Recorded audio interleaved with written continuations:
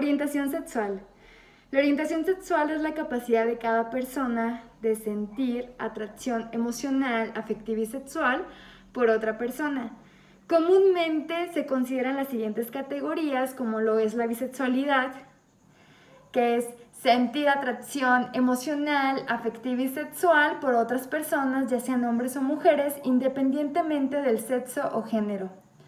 Heterosexualidad, sentir atracción afectiva, sexual, por personas de sexo o género distinto al propio. Y homosexualidad, sentir atracción emocional, afectiva y sexual por personas del mismo sexo o género. Básicamente es cómo me relaciono y aunque puede haber muchas etiquetas, existen personas que no se identifican con ninguna de ellas.